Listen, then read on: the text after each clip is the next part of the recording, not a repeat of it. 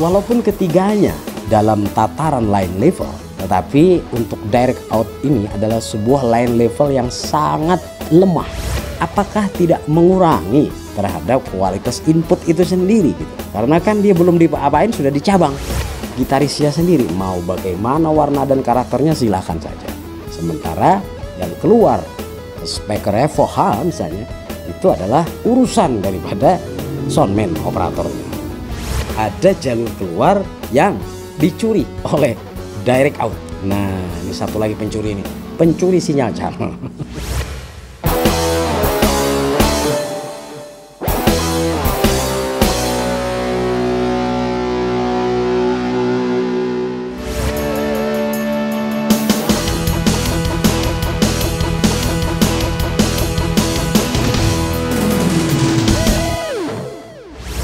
Assalamualaikum warahmatullahi wabarakatuh. Apa kabar sahabat semuanya? Pecinta Haji Official di mana pun berada Khususnya teman-teman pemula Teman-teman yang baru mengenal dunia audio Kita kembali berjumpa di sajian kami di Sesaji Yang menghadirkan informasi tips, triks, dan informasi dasar tentang dunia audio Khususnya bagi teman-teman semua pemula ya Yang baru ingin belajar atau ingin mengenal dunia audio dengan bahasa yang sederhana, dengan bahasa keseharian sehari-hari, dengan logika yang sederhana kami coba sampaikan dengan harapan mudah-mudahan bisa dengan mudah difahami, mudah dimengerti apa-apa yang kami sampaikan. Baik, pada kesempatan kali ini kita akan melanjutkan ya, informasi dasar kita tentang kemarin sambungan kemarin ya, tentang beberapa output ya yang ada pada mixer selain master output ya. Nah, di antara uh, beberapa output yang kita bahas itu adalah apa yang disebut dengan direct out ya. Di mana direct ini adalah sesuatu fitur yang tidak umum ya digunakan di dalam kita menggunakan mixer. Dia lebih utama digunakan pada saat recording ya atau juga musik dalam live performance yang cukup besar. Baik teman-teman, direct out ini sesuai namanya, direct ini adalah langsung out ini keluar. Jadi eh, jalur keluar langsung. Sebuah jenis port yang memiliki fungsi sebenarnya mirip dengan aux ya. Kalau pada mixer itu, yakni untuk mengeluarkan cabang sinyal yang masuk pada setiap channel yang ada pada mixer. Jadi fungsinya itu mengeluarkan juga mengeluarkan e, channel ya, sinyal pada channel itu pada sebuah keluaran tersendiri selain dia dikirim ke master out. Jadi di dalam satu channel itu kita telah paham bahwa ada jalur keluar dari channel yang dikirim ke master out, ada jalur keluar yang dicuri oleh aux. Nah, ini satu lagi ini. Ada jalur keluar yang dicuri oleh direct out. Nah, ini satu lagi pencuri ini. Pencuri channel, pencuri sinyal channel. Oke, kita kali ini akan memahami jadi tentang direct on perbedaannya dengan aux dan line out itu sendiri bagaimana karena memang berbeda ya. ya walaupun dia sama pencuri tapi beda. yang kedua, jalur dan bentuk koneksinya. Dan yang ketiga, nanti kita akan pahami apa sih manfaat serta penggunaan daripada direct out tersebut. Direct out itu adalah salah satu fitur out ya yang ada pada mixer, namun dia hanya pada tataran uh, mixer-mixer uh, besar ya, yang punya puluhan channel, yang memang juga dikhususkan untuk live performance. Dan ini biasanya ada pada mixer jenis analog. Ya. Oke sebagai contoh, nah ini ada mixer berapa channel nih? 16 channel, mixer 16 channel Bah Ranger. Bah Ranger jenis uh, KX 2442 USB ya. Nah ini ada. Dia punya port direct outnya. Di mana kita tahu tadi bahwa port direct out ini hanya ada pada jenis-jenis mixer yang memiliki channel puluhan ya, untuk keperluan live performance. Nah untuk uh, KX 2442 USB ini dia punya direct out ada di belakang sini. Nah ini ini ada 8 buah di sini ya. Port direct out. Kita tahu bahwa port direct out ini disediakan hanya untuk channel-channel yang mono. Ya. Channel stereo tidak. Jadi kalau kita lihat di sini channel mononya sampai 8 ya. Nah, 9 10 ini sudah stereo. Jadi karena dia sampai 8, maka disediakan di sini port direct outnya hanya 8 buah. Sejumlah channel mono yang ada. Kalau kita lihat ke belakang, ya ini dia untuk jack direct outputnya. Nah, ada di sini. Jadi bentuk port koneksi daripada uh, direct ini kebanyakan itu seperti line out, yakni menggunakan port jenis Akai atau jenis jack mic TS. Walaupun memang ada juga yang dibentuk uh, digunakan dalam bentuk uh, jack Canon ya, jack XLR. Cuman kebanyakannya adalah uh, jenis port Akai seperti ini. Jadi jumlahnya 8 nih ya, sesuai dengan uh, jumlah channel mononya. Ada 8 buah. Dan ini memang masing-masing juga adalah mono sesuai channelnya. Oke, sekarang kita berbicara tentang perbedaannya dengan aux dan line out. Dia sama tadi, mencuri di dalam channel. Tapi apa sih bedanya dengan aux? Sekaligus line out ya dari sebuah channel. Kayak kita ambil ini sebagai satu buah channel, channel 3 ini kita ambil perwakilan daripada channel mono. Kalau misalnya teman-teman kita pasang sebuah mikrofon ya, yang kita colokkan pada sebuah port mikrofon ini ya, Canon. Kita colokkan di sini, teman-teman. Maka kita tahu bahwa sinyal yang masuk itu akan berjalan dari atas sini ke bawah sini sampai ke fader. Jadi ini awalnya di sini, dia akan berjalan menuju ke gain, menuju ke kompresor, equalizer, aux, effect, fan, baru ke fader. Nah ini perjalanan sinyalnya begitu. Untuk akhirnya ini sendiri, ya, terakhir setelah keluar dari fader ini, dia disebut sebagai jalur line out. Di mana jalur line out ini adalah jalur yang merupakan sinyal masak dari sebuah channel setelah melalui berbagai proses yang ada pada channel. Itu tadi berbagai proses, entah itu di equalizer, di efiki, kemudian juga diberi gain dan sebagainya.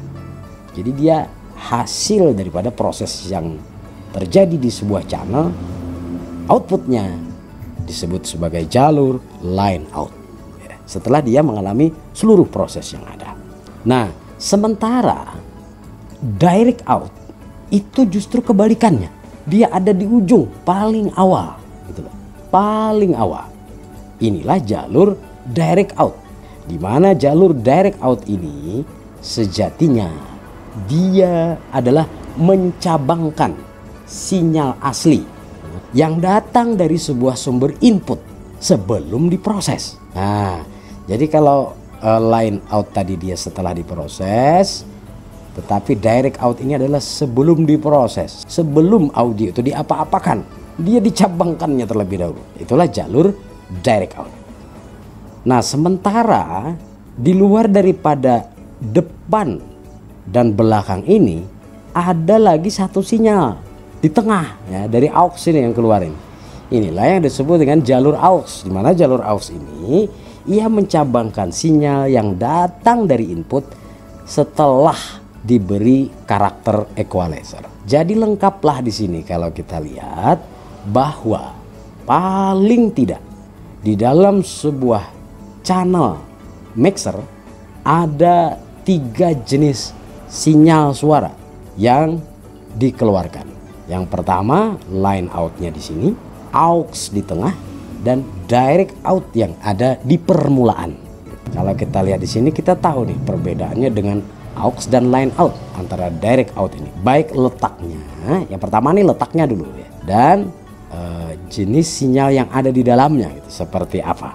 Nah kemudian ada teman-teman yang bertanya kalau memang uh, direct out itu adalah mencabangkan sinyal yang datang input yang dicabangkan dengan kata lain apakah tidak mengurangi terhadap kualitas input itu sendiri gitu? Karena kan dia belum diapa-apain sudah dicabang.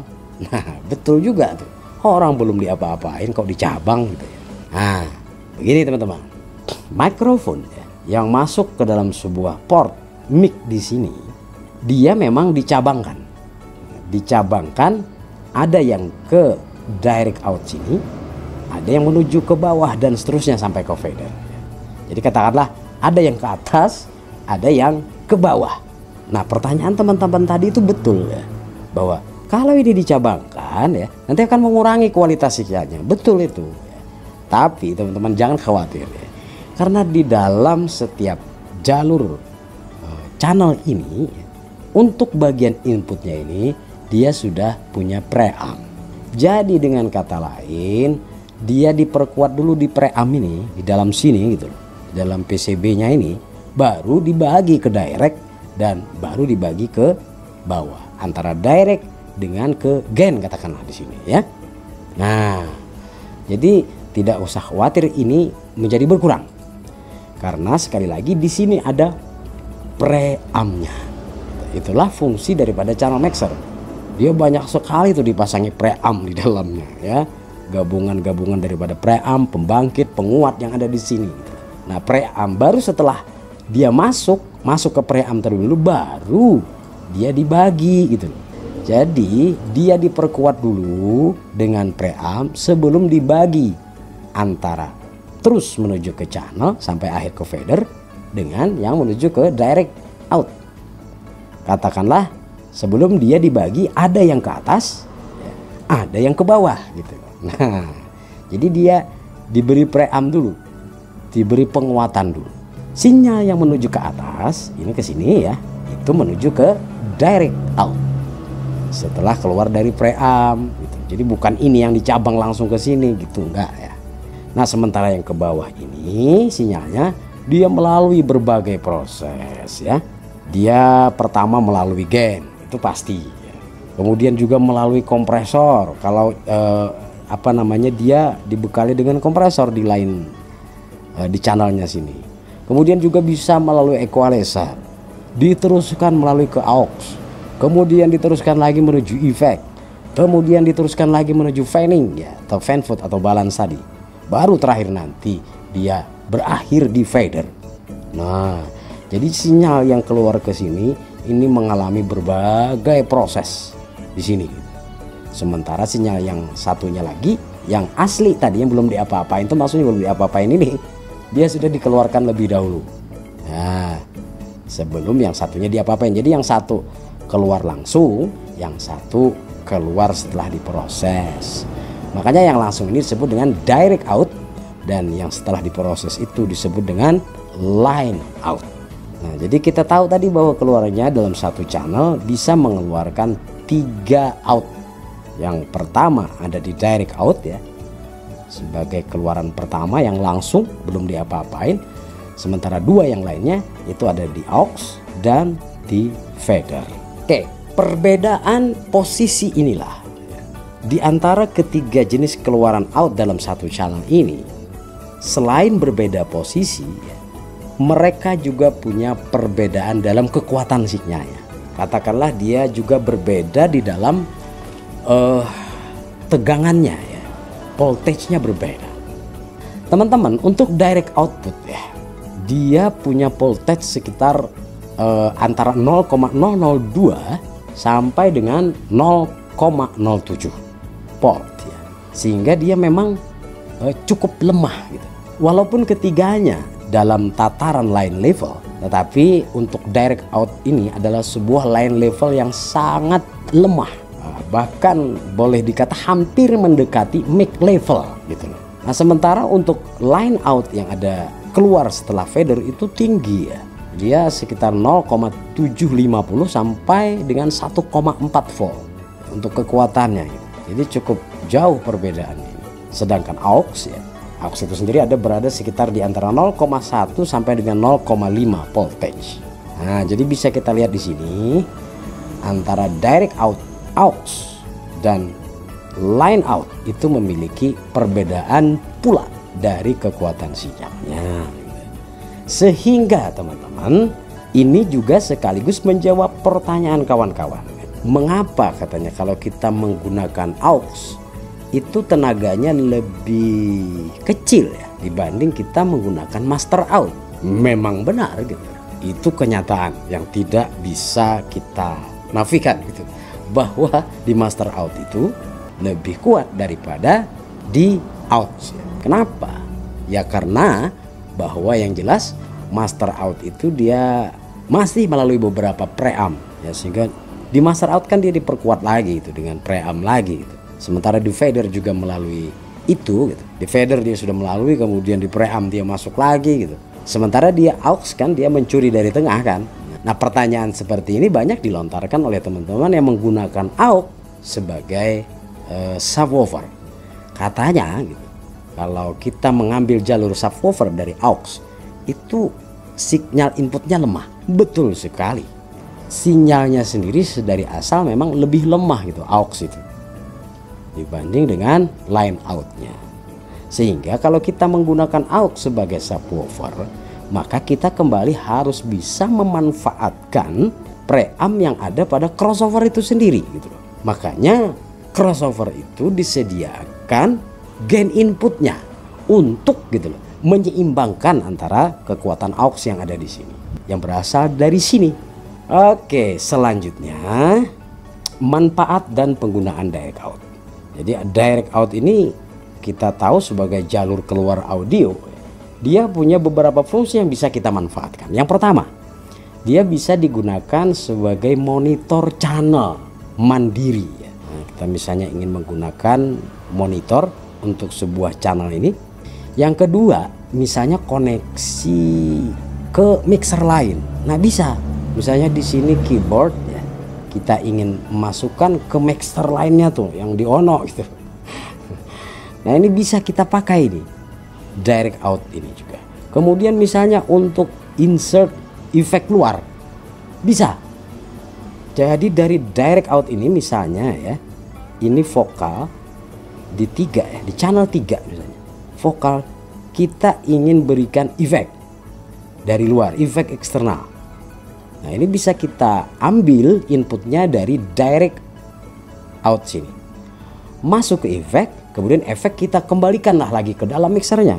Entah itu melalui insert master, entah itu melalui aux region, entah itu melalui channel mixer yang lainnya. Bisa. Berikutnya bisa juga digunakan bagi mereka yang di panggung ya untuk koneksi monitor panggung misalnya ya. Ini kan misalnya channel gitar, ada monitor tukang gitar nih. Bisa kita ambil dari sini. Dan ini tidak akan terpengaruh nanti dengan settingan si operator.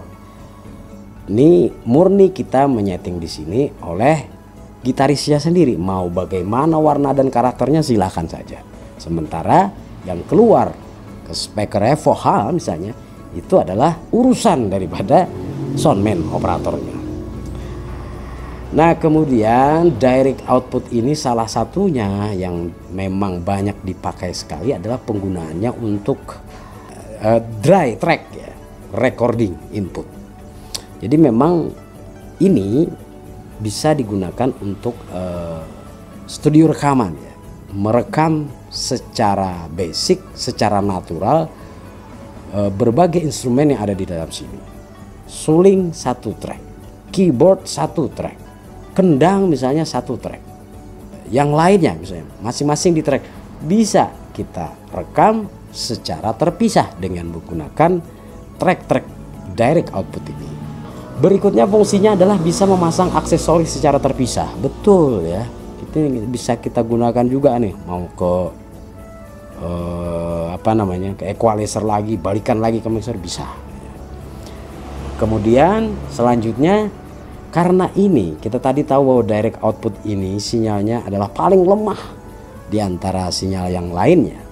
Dia bisa dimanfaatkan sebagai penyuplai port mic level artinya begini dari direct output kita di channel inputnya telah memasang gitar misalnya. Kemudian kita hubungkan ke sebuah amplifier yang tidak ada line outnya, melainkan mic saja. Nah ini bisa kita pakai direct output ini sebagai sumber daripada input micnya. Jadi sinyal yang keluar dari direct out ini sangat lemah sehingga bisa dianggap sejajar atau sedikitlah lebih tinggi daripada mic level sehingga bisa saja kita fungsikan atau kita colokkan ke jack input mic. Maksudnya begitulah ya.